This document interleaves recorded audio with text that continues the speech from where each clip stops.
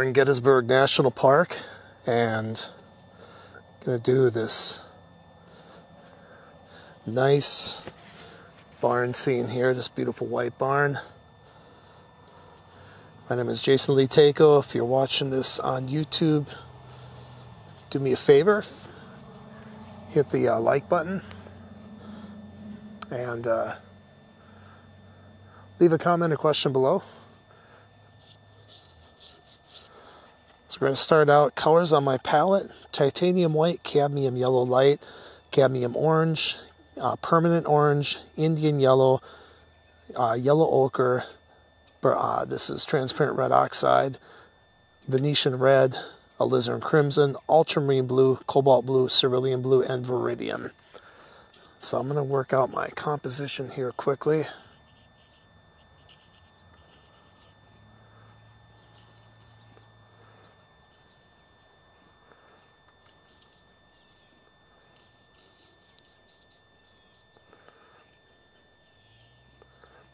I really like the uh, color in the in the trees. So the barn is going to be more of a um, kind of an accent, if you will. I'm not going to make it real big in the composition, but we'll have it somewhat in there. But I really want to get that um, those beautiful autumn colors.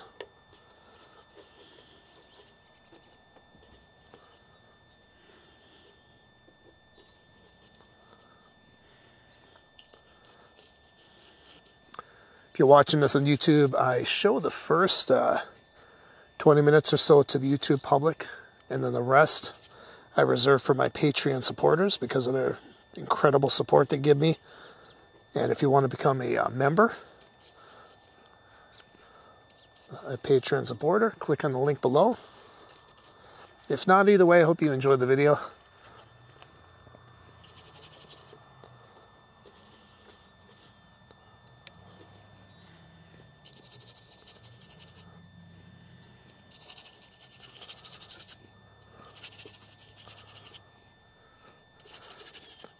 Gonna scrub this on pretty thin.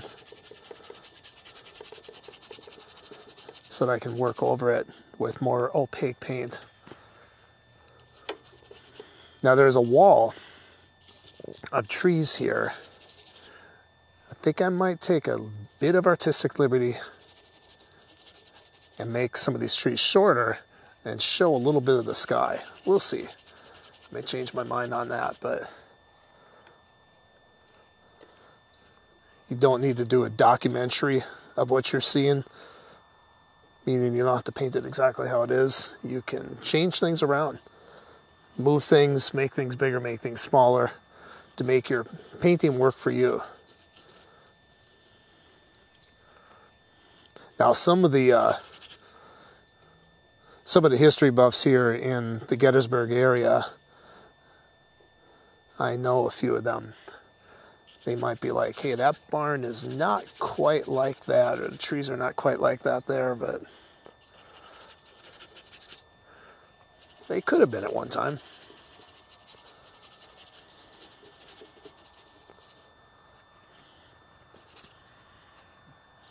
And who knows, maybe we'll enclose it all. I don't know, we'll see. I'm indecisive right now. We have a beautiful, perfectly sunny day here. And it is autumn as I'm recording this. Not sure when I'll be posting it.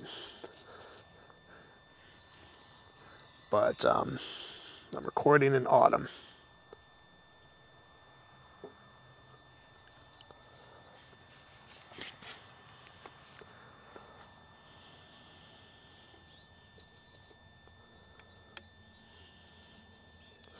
And I usually will do go out and do a barrage of paintings in autumn just because of how beautiful the season is.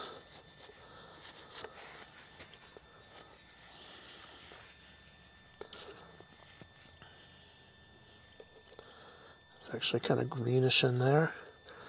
They have some lawn in there. So we're going to put just a hint of green.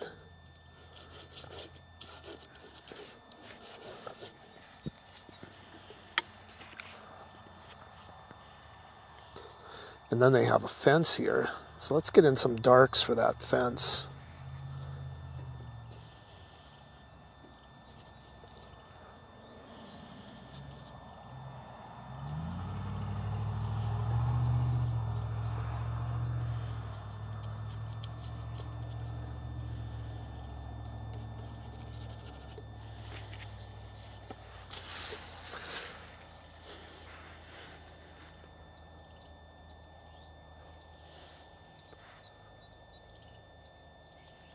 You know, there's uh, I like the foreground here. I almost wonder if I should have moved this barn up and shown more of the foreground instead.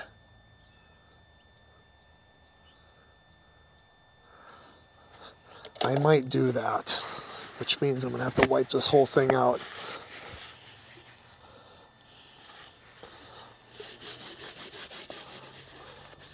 Not the whole thing, but it's actually not going to be too much of a change. So we're going to enclose the whole top there. And this would just be a nice way to tone the canvas.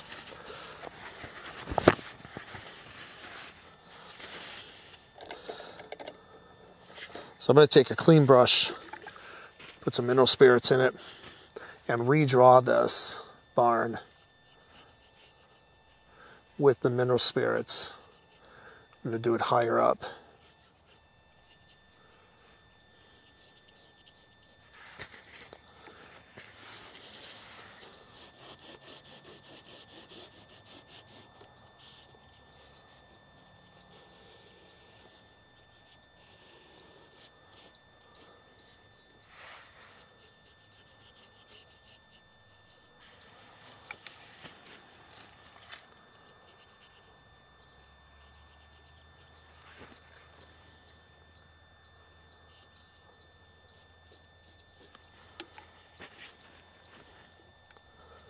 Then we have the smaller building that comes out like this.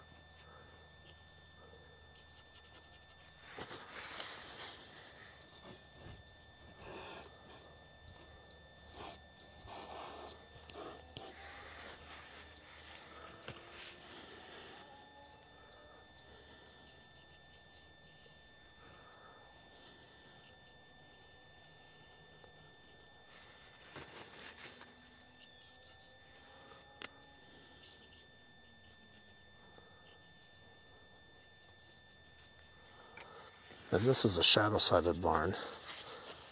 But that's got to be a cool blue. So I want to wipe off as much of this warm tone as possible. And we have the roof that comes down like that. This comes over out like that.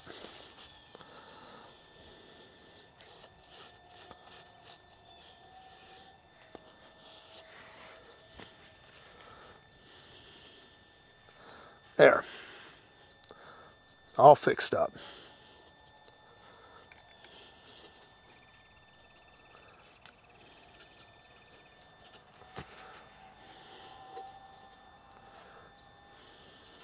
The autumn colors are absolutely gorgeous, and I'm still going to get those in, but I really like the color of that field too, and the kind of lead in it's doing.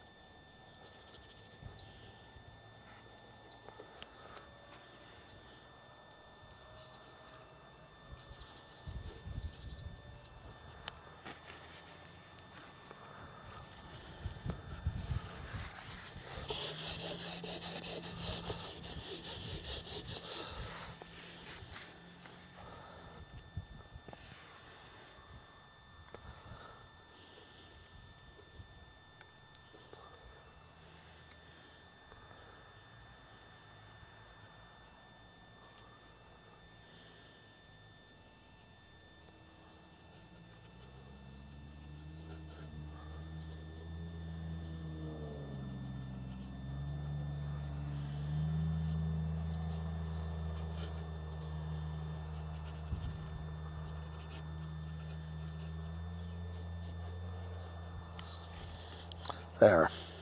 Something like that. That's kind of what I was going after there.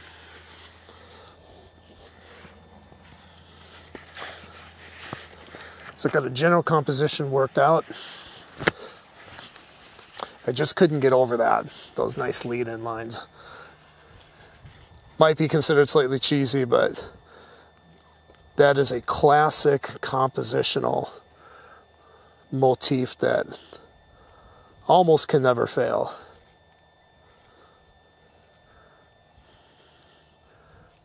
Especially on the uninitiated, to quote uh, Batman.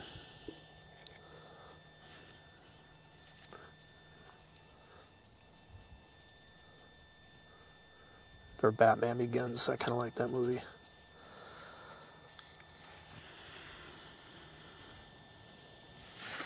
Actually, let's move this one shrub a little further over like that, maybe. So just trying to compose some lights and some darks here.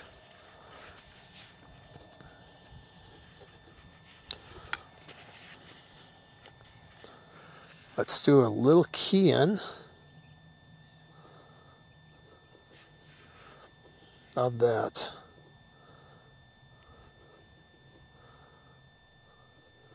Color on the ground there. I think it's gonna the valley's gonna have to be lighter than that. But we'll start out with that. I should jump to a bigger brush here.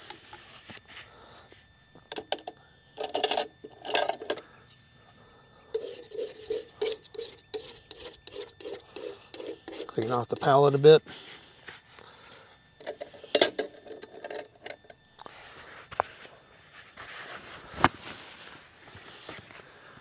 Okay, let's get in our darkest darks.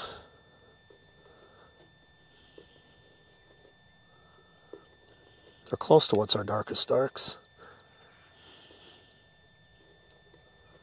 It's a fairly dark green over here. It's the shadow of the, the buildings creating on the foliage back there. So let's get that keyed in.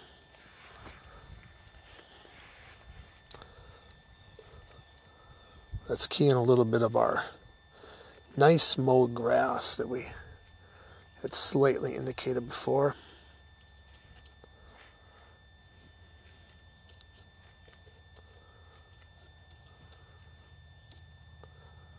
Some of that same color can be used for the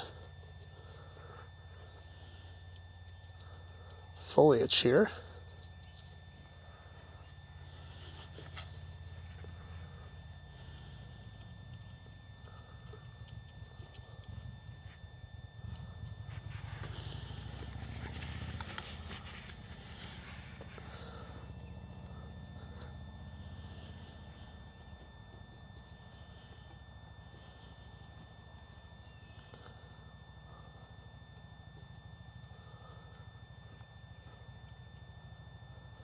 Maybe go a little lighter.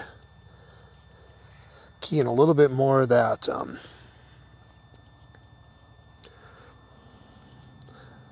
foreground color. Not sure what that is, but we got the got the color in there. Get back in there, more darks. I am out of transparent red oxide. Let's get a little bit more replenished on our palette.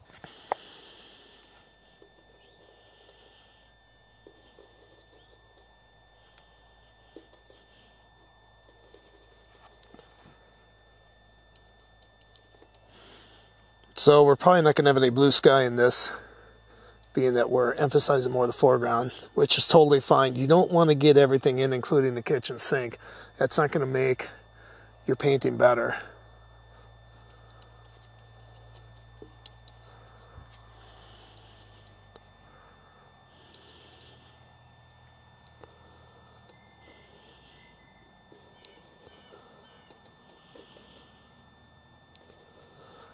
Lot of um, artists, beginning artists, and that they'll they'll try to get everything in and send a photo, and a lot of times you end up with a better painting when you crop. And I know like there's paintings I've done over the years where I'll put too much stuff in and then I'll see like a crop version of it. And it's like, oh, I should have did that. I should have cropped in even more.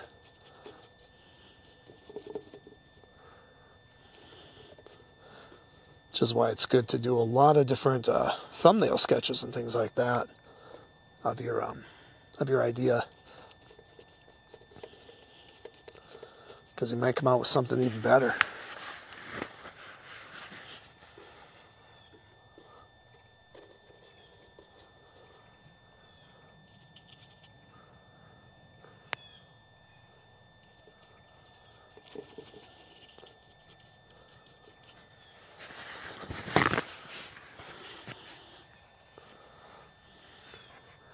Let's key in a little bit of that more intense yellow, which is one of the things that drew me into this scene. I'm going to wipe this off a little bit so I can get it fairly clean on there.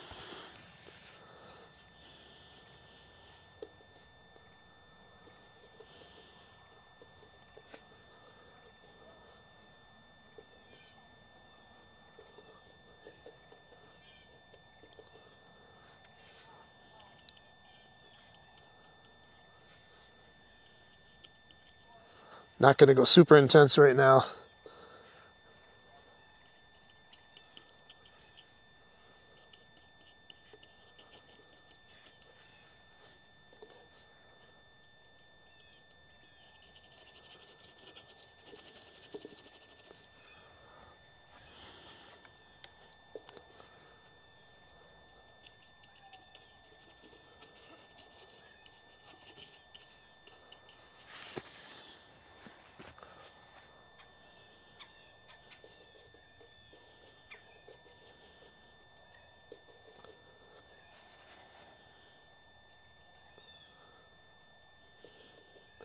And if you're wondering why I'm not explaining all my color mixtures and telling you every color I'm mixing, it's just because when you're racing against the clock like this, because that sun's going to drop fast, you um just isn't time. Now it's something that I do do in my workshops that I teach at oilpaintingplus.com. So if you're interested in having everything really explained to you in depth, check that out. That's where I do it.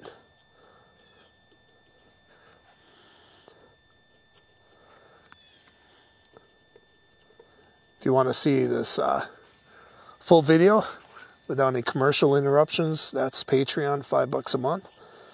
And if you want to see, you want to study under me and really get actual instruction, that you're not going to get for free, by the way, because um, most people don't give this kind of instruction away for free. That's uh, oilpaintingplus.com.